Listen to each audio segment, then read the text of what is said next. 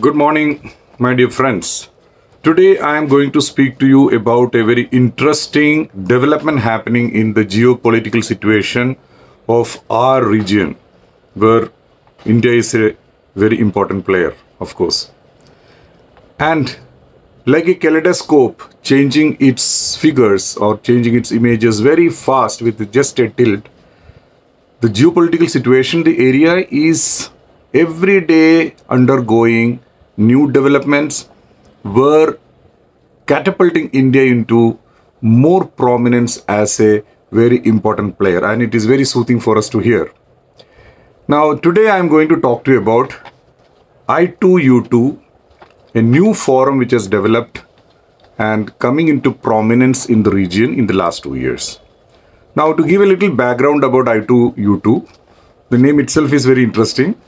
Uh, I of course denotes India and Israel and U2 of course US and UAE. Initially these were the basic players. Later US roped in Saudi Arabia being its main ally in this region. Now this was mooted two years before in the late 2021 by Israel only. That is a very interesting thing. Now, Israel, connecting all other nations which I just mentioned, came up with this idea or rather this projection uh, of growth and development in the area under the aegis of US being the big boss. Reason because of the phenomenal growth of China in the area. You all are aware about the Belt and Road Initiative, which is a revival of Silk Route and revival of land routes as well as maritime routes to develop trade relations with the Europe as well as Middle East. So now to counter them, to checkmate the Chinese phenomenal growth, definitely something has to be done by the group which is not in favor of Chinese growth of course, we are very much important partner to that particular effort, as you all are aware. Now, you probably would have heard, or rather read in the newspapers, that yesterday our national security advisor, Mr. Ajit Doval, has met the NSAs of other three countries, that is US, UAE, Saudi, in Saudi Arabia only, and discussed the modalities and the blueprint of this particular forum. Now, the first virtual meeting of all the heads of these nations happened in last June, uh, where our Prime Minister Narendra Modi also has been participating and has been a very key player. Now, what is the objective of this I2, U2? The objective is very, very simple. As I've told you, to checkmate Chinese growth and to make a via media or a via option for the countries in the Middle East because Middle East is a very important region for the US especially. They don't want to lose the grip and control in the area. Now, definitely they know they have to take our support in the area because we are a very major player, most populated country in the world now, and also a very, very growing economy, very fast growing economy with 5.9 is the present uh, target of growth, GDP growth. And the basic objective right now is to develop the area and connect these Middle East countries and connect basically the Western Asian countries through the land and the South Asian countries through maritime channels and sea routes. And what is India's significance in this? Because from the beginning itself, the Israelis have muted or rather suggested that India can be the major contributor for the infrastructural development and growth in the area and the whole forum intends to give the responsibility of developing complete land routes, especially through railway network, to India.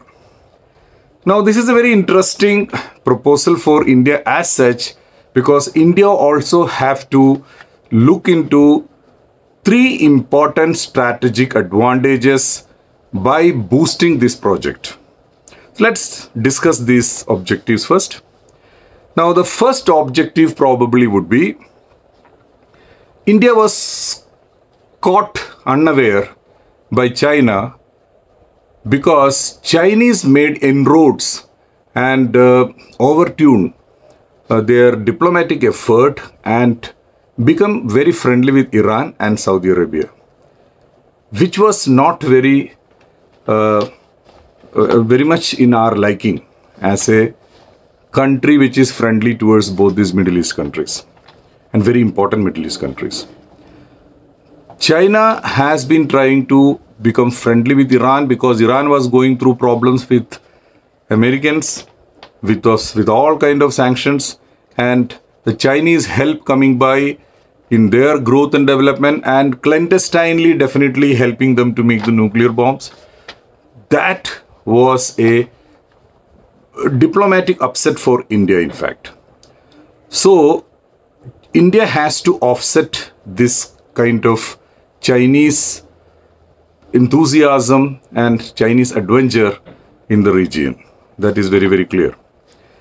Also, by having connectivity with Iran and Saudi and Middle East countries through railway networks, which can be functioned very well by the expertise we have.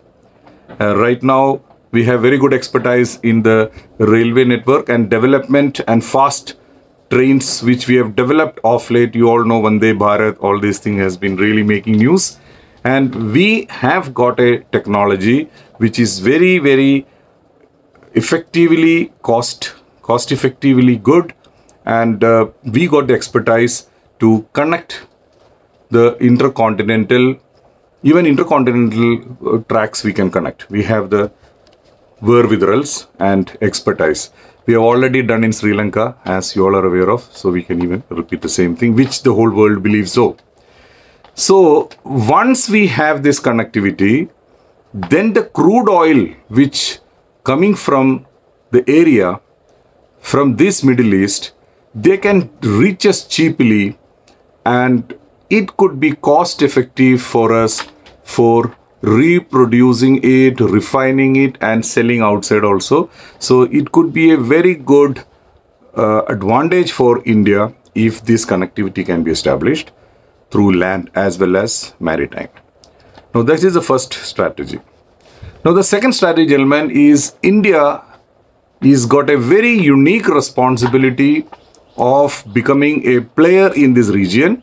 And this is a very important opportunity for India to prove that we are also could be very good like China as an infrastructural developer in the area. Now, the Chinese, as you know, they are experts in infrastructural development. Even we are sometimes dependent on their expertise and uh, technical uh, help.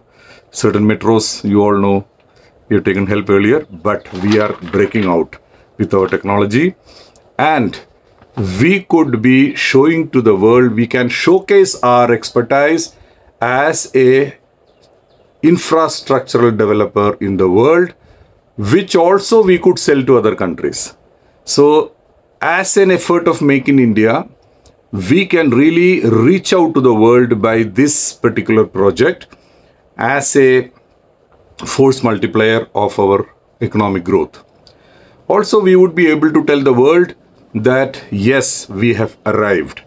Technically and economically, we have arrived. Also, this is a good opportunity for our private sector players and government players. Of course, the government companies are here, but we can also involve our private players to have appropriate projects distributed where overall growth of the region and overall growth of the private sector also can be visualized. Now the third strategical objective, uh, ladies and gentlemen, would be, as you're all aware, last so many years, almost 75 years after Pakistan has severed away from us. They have been blocking the land routes of us towards the Middle East. So we had an issue. We were handicapped through the land for any development across our lands. So we have to depend on naval routes.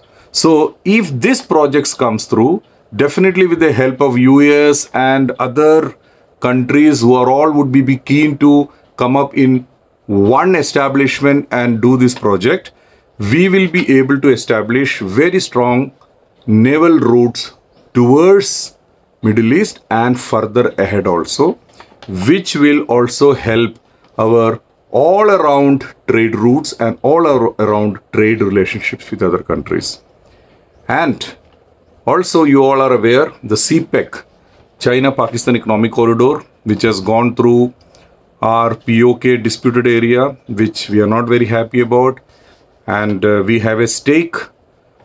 And China has been infuriating us by not even checking with us or going through this project of CPEC in a very arbitrary manner. This is also is a eyesore for us. So by developing alternative ports as well as alternative naval routes, we will be able to checkmate the CPEC also. And you all are aware, all the countries around China as well as in the Middle East, people are scared. I mean, the nations are actually scared of China because they have a policy of debt trapping the other nations.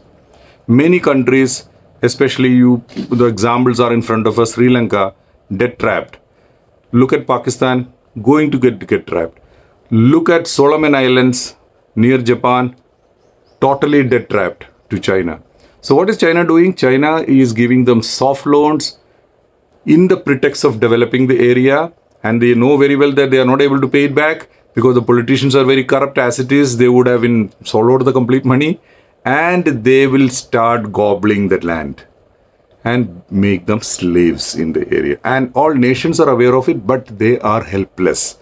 So by providing another alternative to all these nations around, I feel, and definitely all the geopolitical experts feel that we can checkmate the situation with the help of like-minded other nations.